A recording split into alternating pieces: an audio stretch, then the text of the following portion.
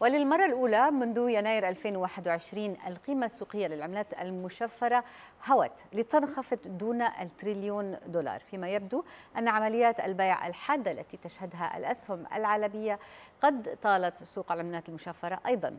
وعلى رأسها بيتكوين. فالعملة المشفرة الأكبر في العالم تراجعت بنسبة تجاوزت 10% لتصل إلى 22 ألف دولار تقريبا مسجلة أدنى مستوى في 18 شهرا. يأتي ذلك في وقت تترقب الأسواق وتيرة تشديد أكبر من قبل الفيدرالي بعد صدور أرقام التضخم المفاجئة. في الولايات المتحدة ما دفع المستثمرين إلى الهروب من استثمارات المضاربة. بيتكوين كان نزل أكثر من 22 وصل تقريبا لحوالي ال 20 ألف وكسور في تداولات آه سابقة هذا الصباح. نذهب معا إلى دبي ينضم إلينا من هناك علي عسكر رئيس التنفيذي للتكنولوجيا لدى تاليروس. أهلا وسهلا فيك مجددا علي معنا على البرنامج. خليني أسألك على اللي عم بيصير بسوق الكريبتو. خلينا نحكي أول شيء على ال price action. أنتوني سكاراموتشي اللي هو CEO تبع سكاي بريدج قال بأنه في كثير fundamentals أو في كثير أساسيات قوية بالنسبة للعملات المشفرة لكن هي بس هلأ موضوع الأسعار بالسوق يلي شوي عم تعرج. شو رأيك؟ في fundamentals صباح الخير صبا اولا. صباح النور. صراحة ك fundamental wise هي فينا نقول نحن بحالة ما بين بين. يعني مثل ما نحن بنعرف عم نقرب لفترة لل halving لل halving تبع البيتكوين يعني بالتالي نحن قربنا لنضرب السعر باثنين آه الفكرة اللي, عم نواجهها اليوم اللي هي في عندنا مشاكل عم بتصير بالأسواق بغض النظر بأي شركات. يعني مثل مثل المشكلة اللي صارت عندنا بال UST سابقا واليوم بلشنا نسمع حكي عن مشكلة بلشت تتبين بسلسيوس network.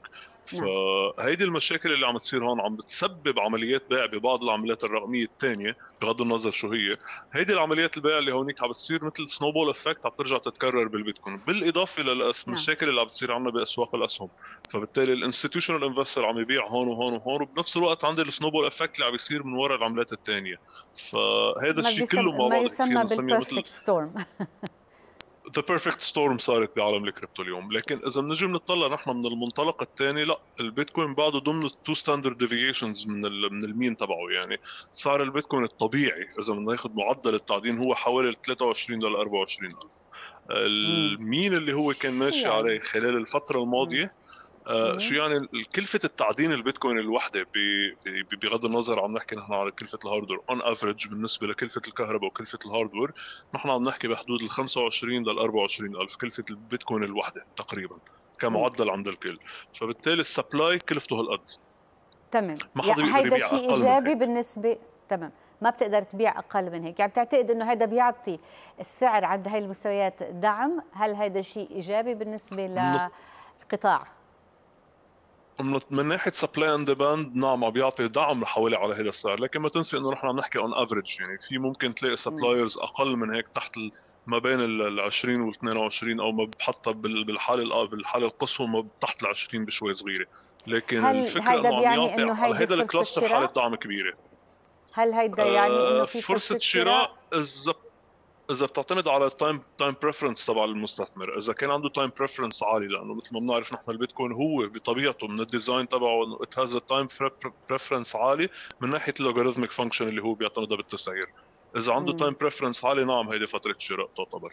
مثل ما بسموها ال crypto community هيدي فترة على المدى الطويل. هذا شهر التسوق مثل ما سموها ال crypto community buy 1 get 1 free ولا ما في؟ آه.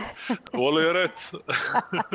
شوي صعبه على 20 و 25 ألف. طيب هو مش موضوع بس بس بيتكوين. إيثيريوم هلأ تحت ضغط أكبر يمكن كمان بالوقت الحاضر. شو الأسباب؟ وكمان هل هي في فرصة شراء للإيثيريوم؟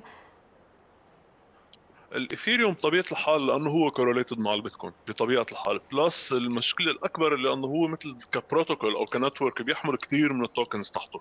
يعني على ال ERC standard اللي هي بيعتمدها الايثيريوم في عندنا آلافات ال tokens. وأغلب هيدي ال tokens عم بتعاني مشاكل من بسبب ضعف السوق بسبب ضعف التسعير.